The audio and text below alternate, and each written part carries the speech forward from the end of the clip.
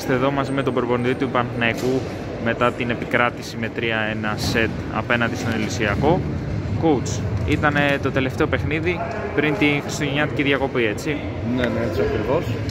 Κάναμε ακόμα μια καλή νίκη. Νομίζω το παιχνίδι χωρίζεται σε δύο μέρη. Στο πρώτο μέρος που στα δύο πρώτα σετ δεν ήμασταν καλά και σε αυτό φταίει το δικό μου το rotation. Νομίζω ότι α, δεν είχαμε στοιχεία που έπρεπε να έχουμε σαν ομάδα. Από εκεί πέρα στο τρίτο στο τέταρτο σετ που μπήκαν οι παίχτε που έχουν ομοιογένεια, γιατί η ποιότητα πάνω κάτω έχουν ίδιες, την ίδια ποιότητα. Παίξαμε λίγο καλύτερα και πήραμε πιο εύκολα το τρίτο και το τέταρτο σετ. Νομίζω ότι στα δύο πρώτα δεν κυριαρχήσαμε τόσο πολύ στο φιλέ, δεν, δεν πιέσαμε στο σερβις και στην υποδοχή, δεν κρατήσαμε υποδοχή και γι' αυτό ήρθαν αυτά τα δύο πρώτα σετ.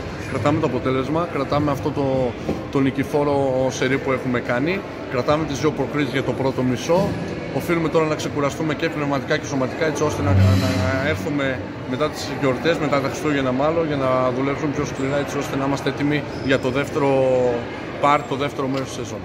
Πιστεύετε πως ήταν δικαιολογημένη η καθίζηση, η απόδοση του Παναθηναϊκού στα πρώτα δύο σετ; Ναι, νομίζω ότι σε αυτό δεν φέρνουν ευθύνη οι παίκτες. Νομίζω ότι είναι το δικό μου, η δική μου απόφαση να ξεκινήσω όλες μαζί.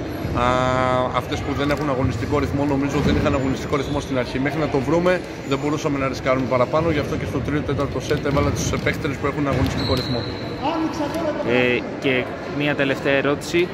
Υπάρχει κάποιο σημείο στο παιχνίδι σας, καθώς μέχρι τώρα έχετε καταφέρει σχεδόν το απόλυτο, ε, το οποίο θα θέλετε να βελτιώσετε εν ώψη και του δεύτερου γύρου; Νομίζω ότι πρέπει να βελτιώσουμε και όλη την επίθεσή μας. Δηλαδή, έχουμε βελτιώσει την επίθεσή μας. Νομίζω το μπλοκ άμυνα είναι σε καλό επίπεδο. Νομίζω ότι μπορούμε να βελτιώσουμε και όλη την επίθεσή μας. Ωραία, ευχαριστώ πολύ.